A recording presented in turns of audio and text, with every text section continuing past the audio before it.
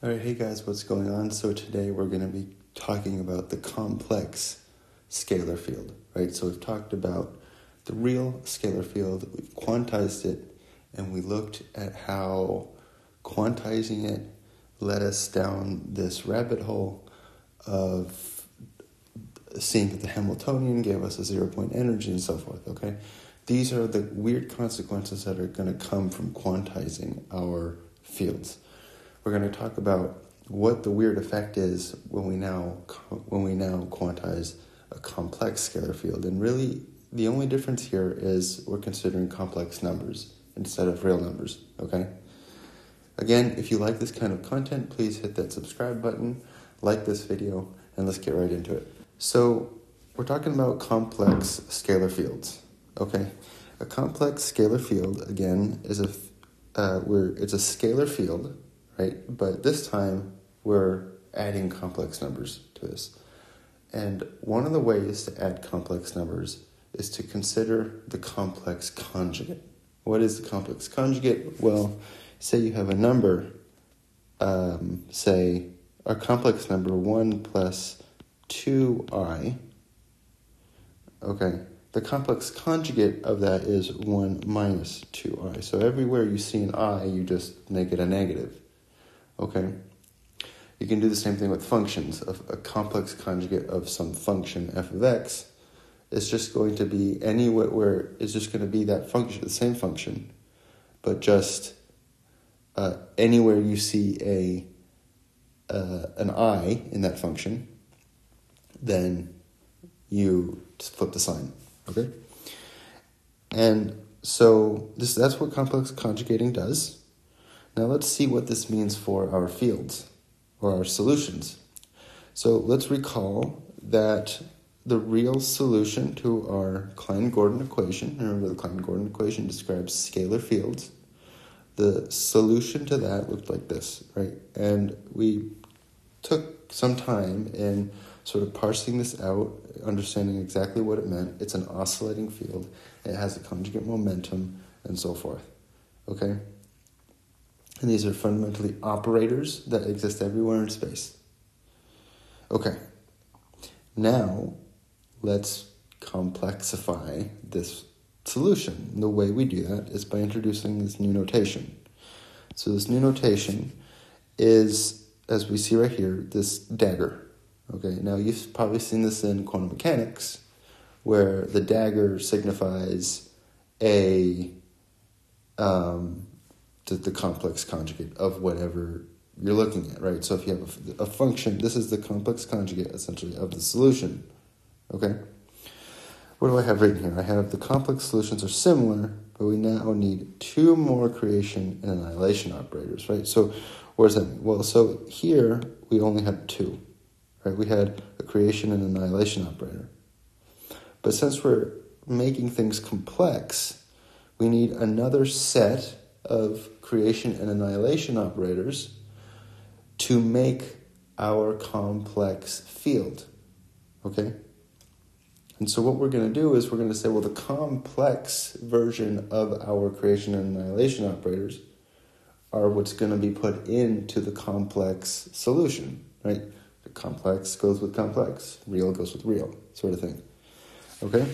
And this is what we, this is what they're going to look like, right? So, here, same thing here, but then we have this B dagger, okay?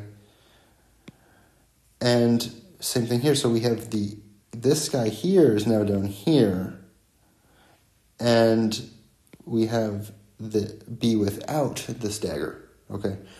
What does the, why are we doing this? Why isn't this A dagger up here, and why isn't this B dagger down here?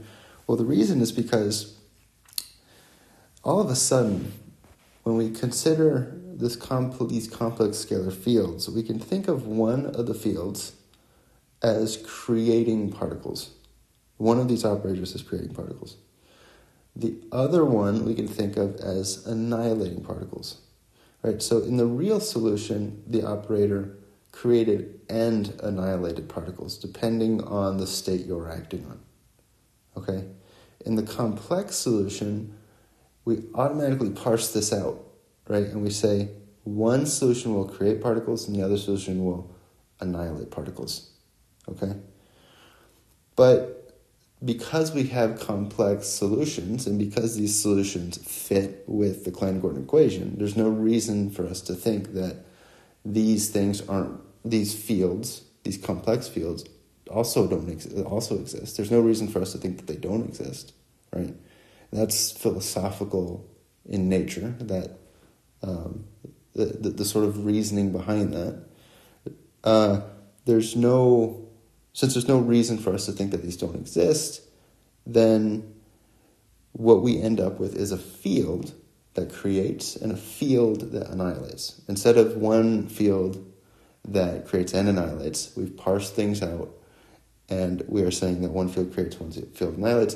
Now, here's the thing since we have these complex versions, the next quote, these complex things, the, the question becomes well, what physically do those do these com does introducing these complex things uh, correspond to in the real world?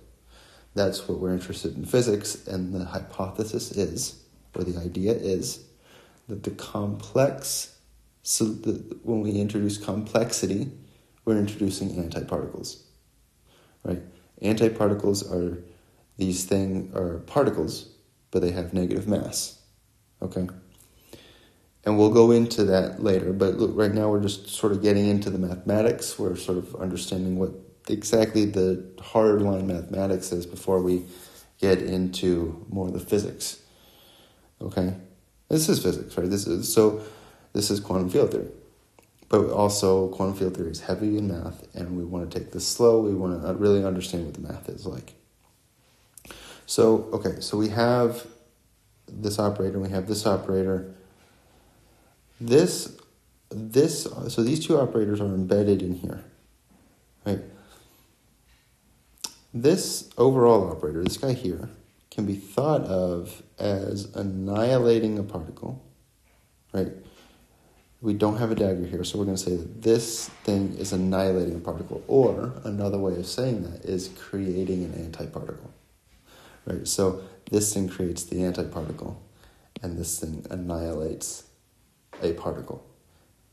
It's a weird way of thinking about things, but semantically, creating a particle or annihilating a particle is the same thing as creating an antiparticle.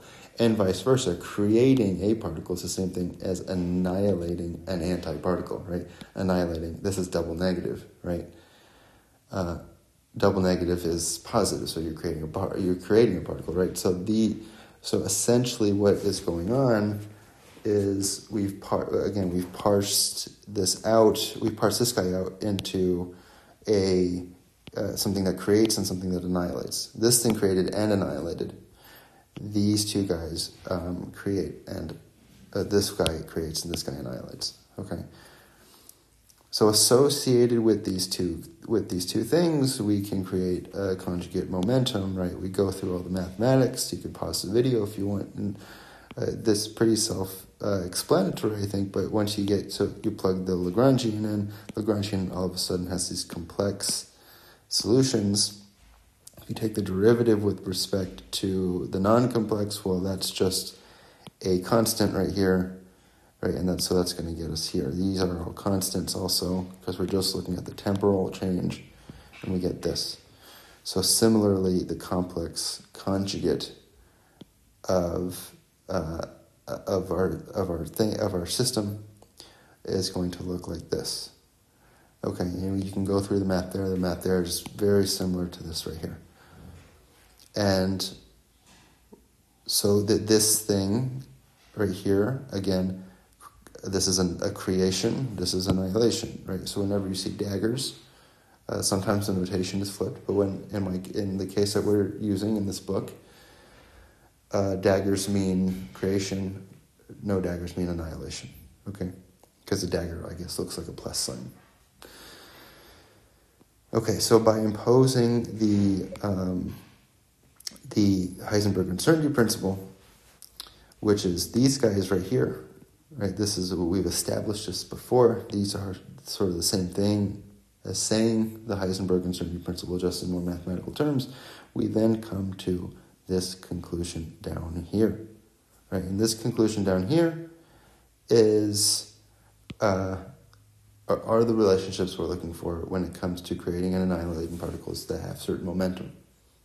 Okay, so and that's going to the, the, these.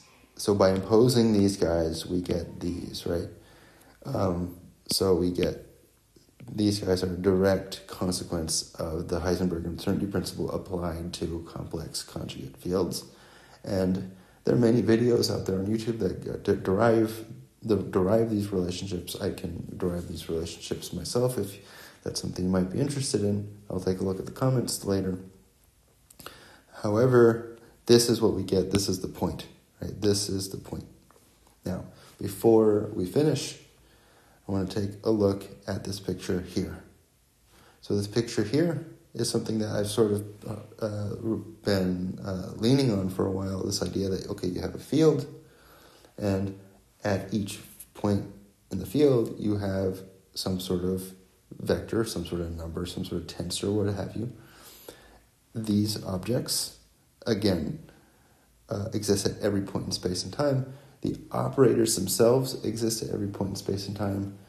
And what we have is um, a picture that looks like this. And at every point, we have an operator, and the operator is made up of these basis functions. Right, so the, these basis functions, the basis functions can be thought of as oscillating frequencies, and the weight on these oscillating frequencies are these creation and annihilation operators, right? So in one case, we have a creation field or, or an annihilation field and a creation field. Each one of these is made up of a basis state of oscillating functions, and these oscillating functions, right, are the are the functions that are associated with particles of certain momentum, right, a certain momentum k. And that's really what I want to talk about in this video. This is complex scalar fields in a nutshell, and I think this is really the take home point that we want to understand for these types of fields. Next, we're going to get into Dirac fields. We're going to spend quite a few videos uncovering what Dirac fields are like. These Dirac fields are going to be um, new, right? Because we're not going to be talking about scalar fields anymore. We're retiring from scalar fields in the next video, and we are going to look at spinors. Right? Spinors are these really weird, abstract mathematical objects. What I'm going to try to do is re- explain it in a way that so that um, it can be relatively easy, hopefully relatively easy to understand. Uh, spinors are no trivial matter. They're very weird, abstract mathematical objects. But what we're going to get from those guys uh, and quantizing those fields is the Pauli exclusion principle. Okay. And we also want to re- remember that we are not only going, for our solutions, we're not only going to be summing over, um, we're not going to be summing over just momentum, but we're going to be summing over spin states, up or down, right? And this is going to be the next topic of our uh, of the next few videos, which is the spinor fields, spinor quantized spinor fields. Right. So, with that being said, I will see you guys in the next one. Bye.